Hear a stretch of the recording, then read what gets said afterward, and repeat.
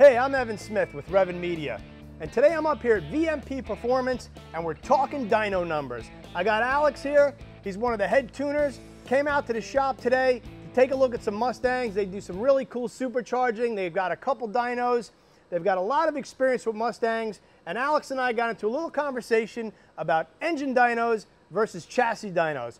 So Alex, what, what, were we talking about before? Well, we were talking about how much drivetrain percentage is lost from the flywheel to the rear drive wheels. Uh, back in the day, people always referenced 10% before chassis dynos became a thing. Nowadays, you can reference anywhere between 15 for a manual, automatic, about 18% drivetrain loss. Right, and some of the reasons for that are that not every vehicle is the same. You could even have the same engine, but the powertrain could be different. The tire compound could be different the weather could be different. Right. So there's a lot of factors that actually go into defining how much power you're making at the wheels. Right. Um, a lot of people don't recognize the fact that the more power you make, the more loss you're going to have because there's more friction throughout the drive line that it, you know, it, the engine drives the transmission and it's pressing on the parts.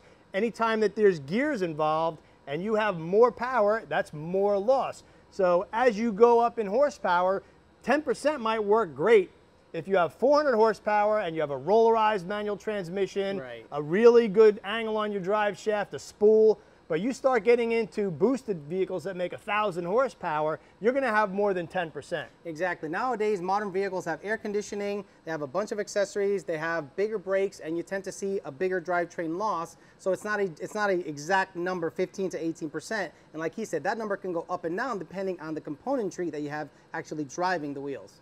Yeah, it's very important to understand that the dyno number, the way that you figure the dyno number on a dyno, um, a chassis dyno is basically a measurement of acceleration and RPM. It right. knows the time it takes to accelerate, or you know, acceleration over time, really.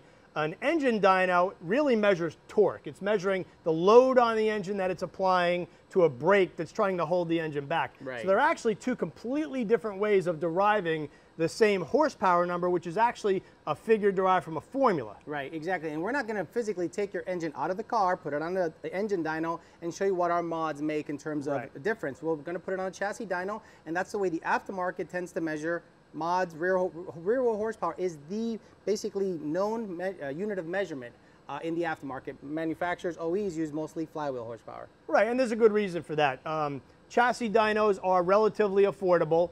Um, so shops can afford them where an engine dyno, you have to build a complete dyno right. cell, you want controlled atmosphere. Um, there's a lot that goes into it. Not that there's not a lot of setup for a proper chassis dyno, but they are affordable for the average shop to go ahead and own. The big advantage to a chassis dyno is a customer could come in and within a matter of minutes you strap the car down, make a couple pulls, you've got a number on what that car is making. Now, that can be used for a lot of different purposes. Some customers just want to brag, hey man, I made 800 horsepower. Oh, yeah. but the big thing is either tuning or if you're doing an aftermarket part installation, you want to know how much power you gained or maybe if you lost. Basically, what we get a lot is people want to know where their car stands. They go on, they put it on a chassis dyno, run it up, make a number, see what happens. Then we can then kind of consult, consult them as to what to do depending on their power goals. If they want to make 100 more, 200 more, 20 more, we can cater to their needs based on the number that they have and based on our experience and tuning, tuning expertise. Right, and then also there's another element which would be actually, like you said, tuning the vehicle. Right. So you're not out on the street all the time looking at a laptop. You can do some of the tuning in a shop, in a controlled environment. And how much of that do you guys do? Well, we do a lot of the stuff we do is remote. Everything, a lot of the stuff we do is remote email tuning. So we rely on the customer to do their own data logging. But we always prefer you to come here to VMP over in New Smyrna Beach, get it on the dyno. We can actually have your car in a controlled environment. We can actually do some measuring, do some consultation as to what your power needs are, so you don't have to go out there and do it yourself. Right now, earlier you mentioned uh, like accessory drive and different ways or areas of the vehicle where you can actually lose power per se. Um, so why don't we take a look under the hood and show people the, uh, the front engine dress and maybe explain where some of these losses occur. Okay, let's take a look. All right. All right, so we're under the hood now, Alex. We're checking things out. This is a pretty cool Mustang with a Pro Charger. And uh, to drive our point home, we'll take a look at the engine.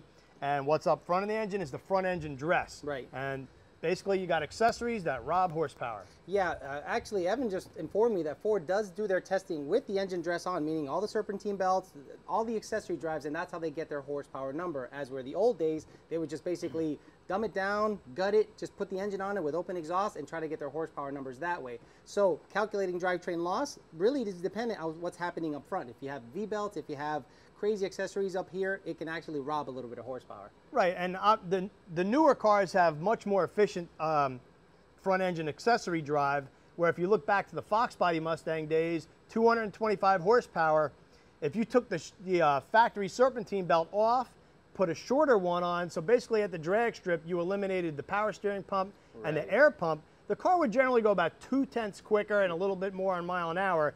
And two tenths in that range was about 20 horsepower. So if you think about each accessory robbing 10 horsepower, that's actually quite a lot. It is quite a lot. Back in the Fox Body days, that was one of the, the better mods to do. It's quick, take the belt off. It actually makes, you know, goes down the track a little quicker. So it tells you how much the front accessories were actually robbing as we're nowadays. Everything is way more efficient. Uh, it has, you know, composite materials, so you won't see as much loss in terms of horsepower and drag on newer engines. Yeah, you have more efficient bearings, and I think just the actual design of the way the belt wrap is is well more. It's uh, better engineered, more thought out. Um, and these are all things that you know you need to consider when you're modifying your Mustang. Right. They all contribute to drivetrain loss. So if you're going to have a whole bunch of stuff here running a whole bunch of other different things, auxiliary drives or anything like that, it will rob horsepower, but less likely on more modern vehicles. Thanks for watching, guys. Subscribe to our YouTube channel for more videos.